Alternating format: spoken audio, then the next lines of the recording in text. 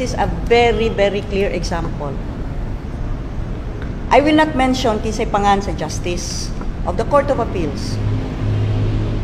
Ang iyang husband, kauban ako sa Congress, 16th and 17th, karon congressman gihapon.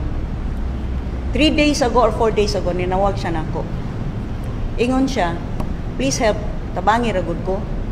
Kay ang iyang wife nga, ang justice, uli man gud dito sa Mindanao, nagpaswab lang yun siya on her own accord. Kaya pwede man gusto ka magpaswab. So nagpaswab siya. Karon, wa pa magawas ang resulta, milupad na siya ngadto sa Mindanao. Pag abot sa Davao Airport, giswab siya. Paggawas, nigawas man ang resulta dayon, I think a few hours later, nga negative siya sa Davao Airport. Unya, padung na siya ngadto sa ilang probinsya, ni abot ang news gitawagan siya gikan diri Cebu. Positive kuno siya. Katong mas una nga test niya, positive. Di naglibog na ron. Ano ba talaga positive, negative? Diniingon ang Davao nga kuan, pwede matagaan ni sa results gikan diri kay para amo matanaw anong di wa man nagkapareha. So nag nihangyo nga magpatabang nga mapada ang resulta. And how many cases na ron? Nailain, brother-in-law sa usa sa atong board members. I will not mention names. Iswab diri sa Cebu City. Positive. Why symptoms ha? Kay murag na may protocol nga maski kwan ang dinhi lain telling pamaagi diri Cebu City. Giswab siya. Why symptoms? Gipa-check in.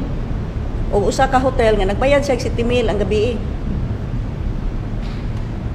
Ikatulong adlaw, sige sila worried na nya tibuok pamilya ani niya apil na ang sa kaning board member ug ang ah nangahadlok ng tanan. Pero nagpaswab na lang pod pero negative tanan. Basta ang mismo asawa ug mga anak atong iyang brother-in-law. Ikatulong adlaw tawag na. Kumusta naman ka? Wa man gyud ko'y symptoms. Asymptomatic tingali ko. Ikaunom nga adlaw bisag unsaon gyud niyag utong di man gyud siya mo init. Wa man gyud gihapon hilanti. Di niingon na siya nga magpaswab ko balik oy tingig sayo false positive to. Primero dili musugot nga magswab siya balik. He insisted nagswab. Atuod negative. Pero lagi kay 14 days kuno ang isolation dili pagawason nga mag sa hotel nga magbayad siya tag 70 mil. Kay if i-isolate yun siya 14 days, isn't that ridiculous? Di pa. Barangay dito sa kuan, Maridejos. Kani these are akong klaro nga nakuha kay I spoke with the people involved themselves. Madridejos. Istorya tong kapitan. Nagswab, hala sige. Paturapak og swabbing kay murag nalagi incentive ana. Na positive, na positive. Ang usa nga kuan ra ba gyud town kanang kana bang liberal lang gyud ba? Kanang ang unsay kita rong adlaw mao ra gyud ang ipalit sa pagkaon. Positive man. Isolate. I-isolate. Pag isolate, wa magyud siya symptoms. Yan tanaw ng kapitan, kay naluoy kay kibaw, dani pamilya. So may pakaon anis pamilya, siya nalang nagsigig hatag bugas. Nangguna pa magali, kung hay, to ilang isolation, nangguna dito. Di iyang giingnan ang ilang kuan, katong nagswab, RHU man pod. Tanaw ra gud na, wa man na kuan, pila naman ang kaadlaw niya, wa na ni trabaho. Tingalig sayop to inyong positive, false positive. Kibaw kan sa ito ba? Ah, sige, atong iswab og balik, palimugmuga lang na og init-init nga tubig, butangig asin. Ah, iya tuod gipalimugmog.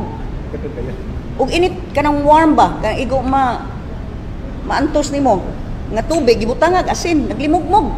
Human giswab, ah, pa negative. And that it seems that common knowledge na karon. Gusto ka man negative, limugmog na lang ka o warm water with salt. Negative ka.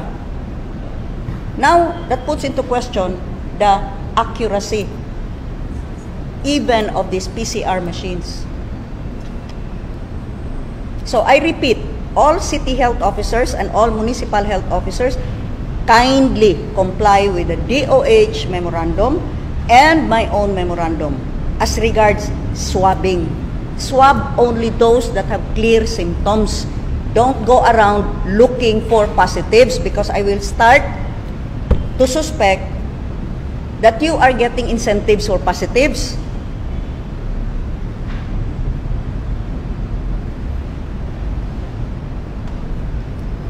Di man na nimo ma-dispute.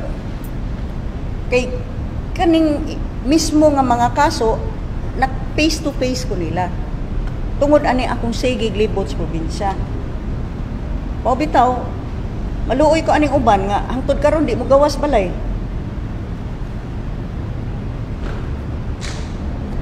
It's a choice. You want to continue your abnormal way of life, that's up to you. All others have to look for a living. Kinahanglan mangita o panginabuhian.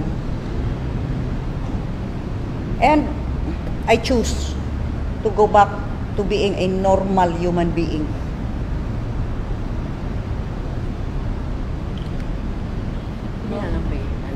Yeah. question nila